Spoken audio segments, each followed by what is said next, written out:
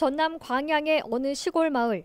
과거에는 500여 명이 넘게 살았지만 지금은 대부분이 떠나고 5분의 1 정도만 남았습니다.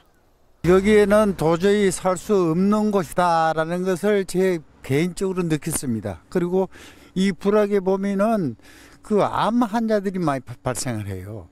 그 우리도 뭐 시- 자식들도 키우고 그러니까 아 도저히 이거는 안 된다. 그래서 나는 딴 데로 이거를 했습니다. 이사를. 주민들이 불안해하는 이유는 1987년도에 지어진 변전소와 송전 철탑에서 나오는 전자파 때문입니다. 마을 사람들은 현재까지 60여 명이 암으로 숨지고 10여 명이 지금도 투병하고 있다고 주장합니다. 네, 보시는 것처럼 마을 주변에 수십여 개의 고압 철탑들이 높이 솟아 있는데요. 불과 몇 미터 떨어지지 않은 곳에 마을 주민들이 살고 있습니다.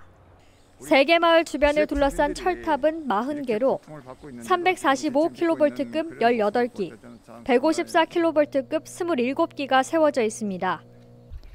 마을이 점점 황폐해지자 주민들은 대책을 요구하며 나섰습니다. 광양변전소 피해대책위원회를 구성하고 기자회견도 열었습니다. 첫째는 에, 지금 저 집가가 그렇게 예를 들어 60년 전이나 지금이나 똑같기 때문에 경제적인 피해가 있고 두 번째는 예를 들어 여기서 희망이 없 희망이 사라진 그 고을이 되고 말았습니다. 그래서 행복 축권이 빼앗기는 것이고 철탑 없는 동네에서 살고 싶다. 배 위원장은 앞서 광양시와 한전 측에 변전소 인근 주민들에게 미치는 전작의 영향과 피해 조사를 해달라고 요구했지만 만족스러운 답변을 듣지 못했다며 기자회견을 연 이유를 밝히기도 했습니다. 그러면서 요구 사항을 내놨습니다. 고압 철탑을 지중화할 것, 주민들에게 미치는 자기장 영향과 건강 피해를 조사할 것, 재산권 피해 상황을 조사해 공개할 것 등이 주요 내용으로 담겼습니다. 또 광양시와 광양시 의회도 피해 대책 마련에 주민들과 협의해달라고 목소리를 높였습니다. 이에 대해 한전은 취재진과의 통화에서 전력 설비에서 발생되는 전자파는 암 발생과 연관이 없다는 연구 결과가 있다면서 요구 사항에 대해서는 내부적으로 의논이 필요하다고 답했습니다.